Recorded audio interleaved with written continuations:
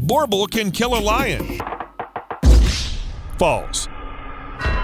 The misconception that a Boerboel can kill a lion is created by exaggerating the fact that Boerboels are beyond fearless. Yes, they're fearless, but killing a lion and having the courage to face him are two different things. In a one to one fight, the lion would definitely win, but the Boerboel turns into a hero since he might have been protecting his land or family.